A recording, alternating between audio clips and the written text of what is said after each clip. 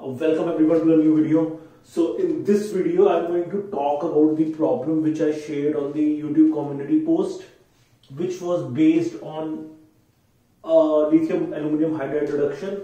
So what we had is this protected sugar and here what we had is benzylidene acetal protection था ठीक है और यहाँ पर हमारा इपोक्साइड था और हम लिथियम एल्यूमिनियम हाइड्राइड के एक इक्विवेलेंट से ट्रीट कर रहे थे तो इसका क्या कैसे अप्रोच करना था इस प्रॉब्लम को, ठीक है?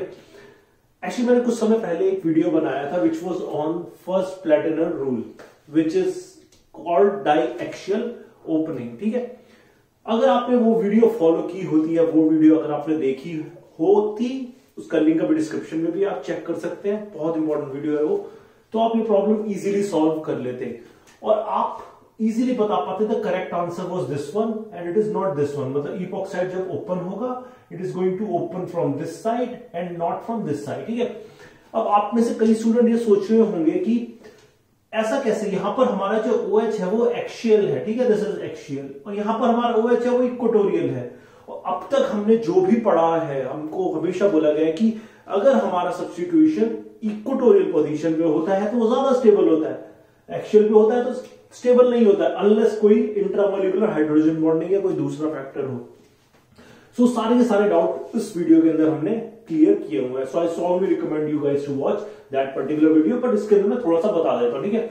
ट्रांस डाइएक्शल ओपनिंग या फिर फ़र्स्ट प्लेटर रूट वो क्या कहता है? सो so, वो कहता है कि कभी भी whenever we are dealing with cyclohexene ठीक है? या तो साइक्लोहेक्सीन के हमारे डेरिवेटिव हो गए। साइक्लोहेक्सीन का डेरिवेटिव हो गया हमारा इपोक्साइड हो गया ठीक है? इमीन हो गया हमारा इसका डेरिवेटिव या तो इसका डेरिवेटिव हमारा एजिड्रीन रिंग हो गई, ठीक है? जब भी इन केसेस के अंदर हमारा न्यूक्लियोफिलिक अटैक होगा, वो न्यूक्लियोफिलिक अटैक हमेशा एक्शियल पोजीशन से होगा, ठीक है? हमेशा एक्सियल पोजीशन से होगा। और उस पोजीशन के अंदर खास करके अगर लेटर सपोज़ उस वीडियो में भी मैंने एक्सप्लेन किया हुआ है कि मैं ये एग्जांपल ले लेता हूँ, अगर मान लीजिए कि ये एग्जांपल ले लेता हूँ। अगर मान लीजिए मॉलिक्यूल में इस पोजीशन पे, इस पोजीशन पे, इस पोजीशन पे, इस पोजीशन कोई भी बल्कि ग्रुप प्रेजेंट है। जैसे कि टर्शरी ग्रुप या फिनाइल ग्रुप प्रेजेंट है, तब हमारा क्या है कि प्रेफरेंशियल अटैक होगा उस केस के अंदर। उस केस के अंदर हमारा क्या होगा कि एक्शियल पोजीशन से अटैक होगा और इस तरह का कंपाउंड हमको मिलेगा, ठीक है? एक हम अगर सिंपल ये वाला, इस वाले एग्जांपल की अगर हम बात कर लेते हैं। Let us suppose I am talking about this example इस एग्जांपल के मैंने बात करी कि यहाँ पे हमारा, इसको मैं ड्रॉ कर रहा हूँ। और इसका ये स्ट्रक्चर कैसे ड्रॉ करते हैं, ठीक है, वो भी मैंने उस वीडियो के अंदर पूरा एक्सप्लेन किया हुआ है कि कौन सा ज़्यादा स्टेबल होगा, कि ऐसा ज़्यादा स्टेबल होता है बाकी दूसरे ज़्यादा स्टेबल होते हैं, अगर फंक्शनल ग्रुप प्रेजेंट हो, सब एक्सप्लेन किया गया, ठीक है। इस केस में हमारा क्या होता है, जब न्यूक्लियोफाइल हमारा अटैक करता है इस पोजीशन में दिस ओपन ठीक है, उसके बाद हमारा क्या होता है, ठीक है but we up getting is यहाँ पे हमारा ये न्यूक्लियोफाइल आया, ठीक है, और यहाँ हमारा ओ OH आया।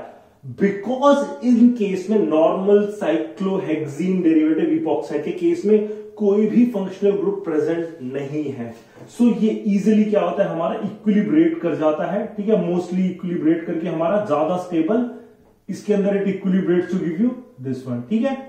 बिकॉज़ ट्रांस ट्रांस सब्सटीट्यूशन आ जाता है। मतलब दोनों के दोनों इक्विटोरियल पोजीशन पे आते हैं एक्शियल एक्शियल से इक्विलिब्रेट हो जाता है उसके अंदर। बिकॉज़ कोई भी ऐसा फैक्टर नहीं है जो इसको क्या कर रहा हो, वो होने से रोक रहा हो, ठीक है? काफ़ी सारी डिटेल इसके अंदर मैंने वो एक्सप्लेन आपको की हुई है, ठीक है? अगर इसको देखिए, अभी मैं इस वीडियो के अंदर मॉलिकुलर मॉडल भी यूज़ करूँगा, दिखाऊँगा कि मॉलिकुलर किस किस तरह से लगता है मॉलिकुलर मॉडल में, लेकिन अगर आपके पास मॉलिकुलर मॉडल नहीं होता तो आप अपना कॉन्सेप्ट किस तरह से यूज़ कर सकते थे, ठीक है? अगर देखें तो हमारा, ये भी चेयर कन्फर्मेशन है और ये जो हमारा बेंजालिडीन एसिटल प्रोटेक्शन है, ये भी चेयर कन्फर्मेशन है। ये क्या है हमारा हाइड्रोजन ये इक्वेटोरियल पोजीशन के ऊपर है। ठीक है, यहाँ वाला हाइड्रोजन हमारा क्या एक्शियल पोजीशन पे ठीक है? तो अगर हम इसका मॉलिकुलर मॉडल बनाएँगे इसका इसका, हमारा तरह से क्या है, ये शुगर है विथ इपोक्साइड इनसाइड तो मतलब दिस इज़ नॉट ऑल तो मैंने इसको चेयर फॉर्म में इन्होंने रिप्रेजेंट किया है but this is not a true chair form ठीक है? किस तरह से हमारा अटैक होगा तो मॉलिक्यूल क्विकली ये रिंग ओपन होने के बाद चेयर फॉर्म एडॉप्ट कर लेगा, ठीक है? जब हमारा यहाँ से अटैक होगा हाइड्राइड का, और जब वो ओपन होगा, क्योंकि हाइड्राइड के हमारे क्या जो है, जो ऑर्बिटल है, वो कार्बन ऑक्सीजन के सिग्मा स्टार ऑर्बिटल से एंटी पेरीप्लेनर है। इनके बीच में ओवरलैप प्रॉपर है। जैसे कि मैंने साइक्लोहेक्सेन के केस में उन वीडियो के अंदर भी एक्सप्लेन किया था कि हमेशा आपका क्या होता है कि ऑल्टरनेट कॉन्फर्मेशन फेवरेबल होता है। जैसे अगर हमारा यहाँ पर ये हाइड्रोजन इक्वेटोरियल है तो नेक्स्ट हाइड्रोजन की एक्शन पोजीशन ज़्यादा ज़्यादा प्रेफर्ड है। मतलब ये वाली साइड क्या है कि दिस इज़ फेवरिंग मतलब ये इधर से अगर हाइड्राइड या कोई भी न्यूक्लियोफाइल अटैक करेगा तो ये orbital already peri anti periplanar हमारे होंगे। लेकिन इस केस में क्या है हमारा? हाइड्रोजन ये एक्शियल पोजीशन पे है तो यहाँ से अगर कोई भी अटैक अगर फेवरेबल होगा, वो इक्वेटोरियल अटैक फेवरेबल होगा। लेकिन इक्वेटोरियल अटैक यहाँ पे फेवरेबल होने के लिए कार्बन ऑक्सीजन के जो ऑर्बिटल है और ये हाइड्राइड के जो ऑर्बिटल है they are not anti periplanar they are syn periplanar तो अगर इस पोजीशन से हाइड्राइड को अगर अटैक करना है, ठीक है, और अगर उसको एडॉप्ट करना है एंटी पेरिप्लेयर कॉन्फर्मेशन तो उस वीडियो में मैंने आपको बताया था कि it has to go through a high energy conformer मतलब अटैक तो हो जाएगा आपका, लेकिन it has to go through a high energy conformer और ये आपका हाई एनर्जी कॉन्फॉर्मर होता है, वो क्या होता है? वो तब होगा जब अटैक इधर से होगा। और हाई एनर्जी कॉन्फॉर्मर ऑल दो ये हाई एनर्जी कॉन्फॉर्मर बनने के बाद आपका जो मॉलिक्यूल बनेगा, उसके अंदर आपका ये ओ OH होगा, वो इक्वेटोरियल पोजीशन पे होगा। ठीक है?